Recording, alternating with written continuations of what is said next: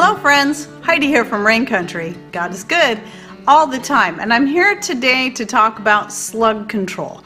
Now when you live in a place that gets 120 inches average annual rainfall, you know something about slugs.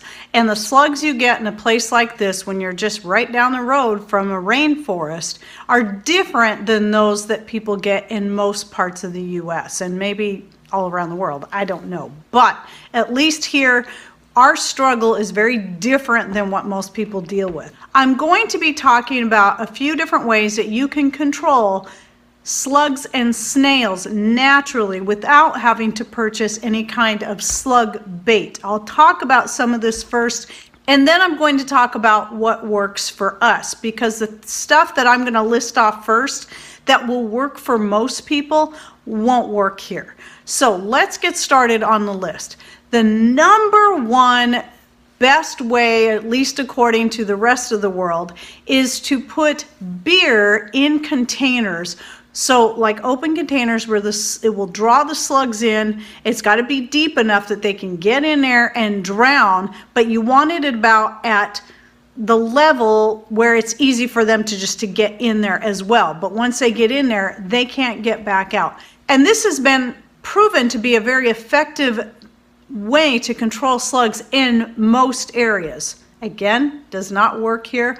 I have tried it in just about so many different ways, setting up different types of containers, setting them up in different ways, and it just doesn't work. It's, again, you know, it, it's the one that usually when I say anything about slugs, it's the first one that people come in and say, try this. Well, I tried it years ago. I've tried it four years. I've tried it in so many different ways and it doesn't work for us. But many have said it's very effective for them. Uh, another thing is if you have the space and the willingness, ducks are very effective at keeping your slug population down because it's their favorite snack. In fact, Usually that's the first thing they'll do if you let them go in their garden.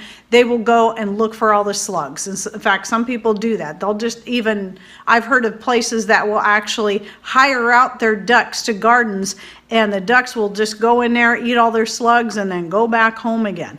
And, uh, you know, if that's a, a, way that can work for you, then great. Now, for us, the reason we wouldn't do that is because of our space. We just do not have space to have ducks, nor the desire. Ducks are way more messy than chickens, and chickens are messy enough. And so, no ducks for us here. And if you're new, maybe you don't know this, but we're doing, even though we do have another piece of property just up the road that we acquired last spring, uh, it might be a while before we get to a point where we're doing any real gardening out there. That's gonna kind of come down the road. We're doing everything right now, right here on this shy one third acre lot here in the neighborhood in town. So we've been making it work here. And I'll be, of course, inserting some pictures if you're not seeing them already of our garden. We have gardens all over this whole lot. They're all in different places making the most of our space. So again, we, we can make the chickens work, but we just don't have space for ducks here.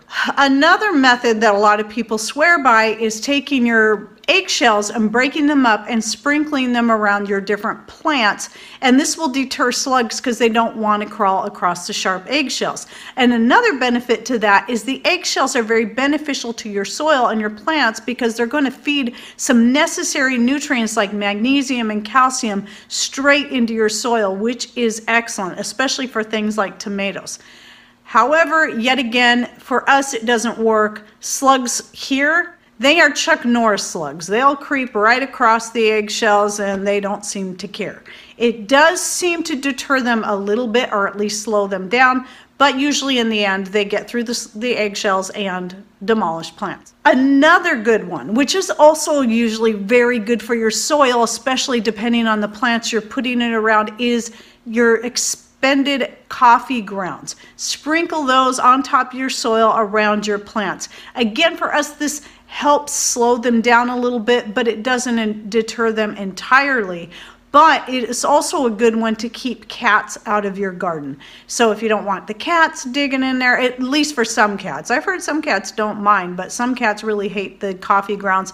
We had a cat, a neighbor cat that was coming, yeah, years and years ago when I first started really getting serious into the garden and it was uh, making messes over on the one side. So I started putting coffee grounds down and it stopped. It stopped using the potato patch as a kitty litter box. And so it is effective. Plus, the coffee grounds are really good for things like grapes, berries, potatoes, corn, and more. So that can be a good option. Another one uh, that people talk about a lot is copper. Yes, we've tried this as well, but uh, you know, apparently slugs don't like to go across copper because of the electrical charge they get when they go across it. But when you live in a place that gets the much, as much rain as we have, slugs seem to not mind going over copper here. It's just, it's kind of crazy. I know that works for most people, but we did try making copper rings to put around some various plants, and it was just, it just was ineffective uh, for us. But many say that it does work. Putting some kind of copper wire all the way around your garden beds is one way to do it. And then if you go the extra step, and whether it be copper wire or another type of wire, and add some kind of electrical charge to it, that will keep the slugs and snails out and we have yet to try that one. It would take us a lot of time and likely expense to get all of our garden areas because we have several spread out all over set up where that's going to work for us. I could see trying it in a small area, but I even see over time that being something where whatever it is, you know, with the heavy rains that we get, I just don't see a setup like that lasting for a very long time out in our weather. So even though we haven't tried it, uh, I think it could work for a short period of time. But considering the amount of work and expense that would go into setting it up all over all of our garden areas. And then knowing it's not going to probably it might only last a season at most i just don't see that being worth it. But again it's something you can look into. I've had people send me videos where people set that up and, and they did it for themselves and it worked really good for them so it might be a method you can check into. And if i happen to find one of those videos again that one of the ones that somebody sent me a while back i will try to link that down below. Otherwise, just look it up on YouTube. I bet you can find one on how to do that. Another one that people talk about a lot is diatomaceous earth. And diatomaceous earth is a good one to help with all kinds of pests because uh, different anything with the exoskeleton, it uh, cuts them up and it dehydrates them and they die. And that can work if you're not watering the diatomaceous earth or if you're not putting out it out in a place where it rains because once it's wet it's pretty much useless as far as that goes. And plus you want to be careful with diatomaceous earth because you know it is a dust and you want to be very careful because you don't want to harm your bees either. So that could be you know that's one of those things you got to really think about me, I save the diatomaceous earth for putting in the chicken's feed, and sometimes we'll use it in pots in my greenhouse because that's one place I can at least control how much moisture gets on the soil. Some other ones like spices to consider would be, you know, ground cloves and ground cinnamon. These supposedly will help, but again, this is something to me that I see as quite an expense. If you're having to water a lot or you're living in a place that gets a lot of heavy rains, it's something that, that's just going to get washed down into the soil and then becomes useless. Now, I do take my different, like when I use cinnamon sticks or I'm using ground cinnamon in my teas, I will dump the remains, herbs and the different stuff that are at the bottom of the teapot, I will dump those into my various pots. And that does seem to help a little bit, like the cinnamon sticks, somewhat. And so even though they've been uh, used to make tea, they do still seem to help a little bit in the pot. That's a more frugal way to do it because I can use it for tea first and then use it in the garden. And even if it doesn't repel the slugs. Again, it's, so, it's just more compost I'm throwing in there to help my plants. Now I'm going to go on to ways that I've used that have been the most effective. Now, when I first started my channel, it was either the year I started my channel or the year before. But I do know that the year I started my, my channel, which was 2016, I started in August of 2016. And so I already had a good garden going. So I'm pretty sure that was a year. We had a pretty wet summer, all summer. Now, even though we live in such a heavy rainfall area, and just so you understand, we get three times the amount of rain in a low year that Seattle gets normally. And in a high year, we can get four times as much. So we can get up to 160 inches of rain in a single year. People are trying to understand the difference between their rainfall and our rainfall. All you simply have to do is type into your browser uh, inches of rain for your city and state. So annual average rainfall for and then list your city and state, and then you'll be able to pull up some links that will tell you that, and then you can compare. So ours currently is 120. Now, it used to be 144, so our actually, our average has actually gone down quite a bit, but I'm believing what's gonna happen soon is we're gonna see an incline up again to where we're getting about 140, 144 inches average. So that way you can kind of compare and get an idea. So the more rainfall you get, the more issues with slugs and snails you're going to have because they only like to come out when it's wet. So when we have a drier summer, I don't have as many problems with them. But that year that I started my channel, we didn't have our chickens yet and it was very wet pretty much all summer long. Worst year ever for slugs. And I'm not talking big mammoth slugs, though yes, we get big slugs around here. Most of our problems are coming from the little tiny ones, especially them young ones. Thankfully, those are the ones my chickens love to eat the most. But that year, since I didn't have chickens yet and I'd been trying everything by this point, I found the best thing for me to do, and this is a real hassle, but it did help a lot was I would go out every morning early just before the sun came up especially while it was still very cool and very very damp and then that's when the slugs were out in full force. And I would just go through the whole garden and start hand picking slugs and I would count them. And I wouldn't stop until I had a minimum of 100 slugs picked and some days I'd get 200 slugs or more. And that helped, doing that every day, that really helped bring the population down. But I also found another trick during that time that uh, I always forget to mention, and that is simply doing stuff like if you have a lot of plants that you can chop and drop, things that the slugs like. So let's say you've got, well, even dandelion leaves. Slugs will pretty much leave dandelion leaves alone unless you've picked them or cut them and thrown them on the ground, once they start to die, then the slugs will come eat them. And so that can be kind of a bait that's natural and doesn't hurt the slugs. So if you're concerned about killing slugs, then that's you know, that's a way to do it. That will draw the slugs to those things. And then you can also, it also makes it easier to gather them up because they're all in one place. And I actually discovered that by accident because I would often do a lot of chop and drop. If I had stuff just growing like crazy and it was kind of causing a little bit too much shade or getting too thick, I would just cut it down and throw it down on the garden to feed the garden. And then I found those were the things the slugs would go to first more than the live plants, which I thought was very interesting. But it kind of makes sense because there is a purpose for, for slugs, even if they're frustrating. And their purpose on this earth is very similar to what flies do, and that is to to uh, get rid of some of that decaying matter. So they do serve a purpose even if they do tend to demolish our gardens. The best thing that we have done is getting the chickens. And so what we do, as long as we can throughout the year, we let the chickens roam all throughout the back garden areas and in the greenhouse.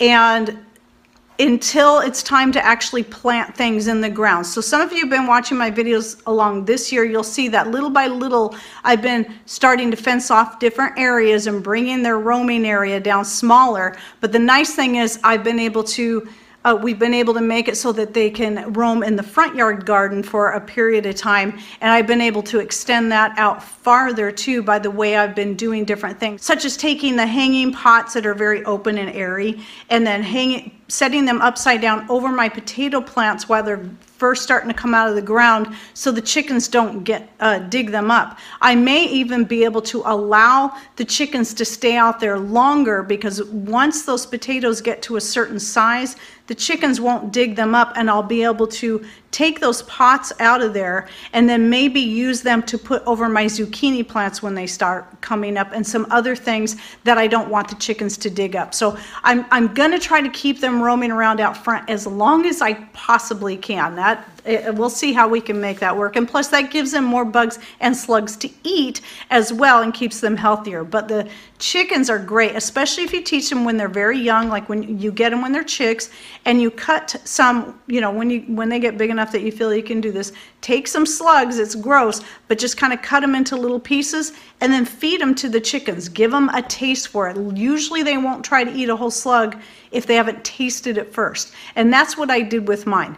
And most of them will I, I, don't know about my black chickens because I never did that with them, but all my uh, buff Orpingtons will eat the little tiny slugs. They'll tend to leave the bigger ones alone. They're not, some of them will eat the bigger ones, but they're not as crazy about them. Getting them to eat them while they're young and eat the eggs that they dig up out of the ground does definitely reduce the slug population incredibly. So if you're going to get chickens and you prefer chickens over ducks, they do they might not eat as many slugs as ducks do but they can do a great job especially if you can teach them to eat slugs. I just have been amazed ever since we first got our chickens just the difference in the slug population on our property. And then as a last resort there is and people were asking me about this in my last garden update and i didn't I just didn't think to mention what it was, but I learned about it from, because I was stand, trying to stay away from slug baits and anything unnatural, especially toxic. Years and years ago, I used to use slug lime, but that that is so dangerous, especially if you have pets or if you're using it out in a place where any wildlife can get to it. It is very toxic and they will eat it and it will kill them. So uh, this one though, Sluggo, this one I found out from a couple of people locally that use this because it is actually, and I didn't know this until they told me, I just always overlooked this, assuming it was toxic like any other kind of slug bait, which is not toxic to humans or to your pets or any wildlife. In fact, I sprinkled some in a place one time that I thought the chickens couldn't get to or I just wasn't thinking because it was in a pot. And they stuck their heads through there and ate every little piece out of that. And I was kind of freaking out even though I knew it was supposed to be safe. Well, they were totally fine. It didn't hurt them one bit. So it's just toxic to the slugs. So you sprinkle a little bit of this around. It's just little white pellets around your different plants and the ones that they're most likely to eat. And what they'll do is they'll go to that, they'll eat that, and then they won't eat anything else. They'll go back into their little hidey hole and then they'll die. And so you should see a great reduction in that. Now, I found for me when I bought this, I can't say what it's like now because things have changed so much and prices have skyrocketed on a lot of things.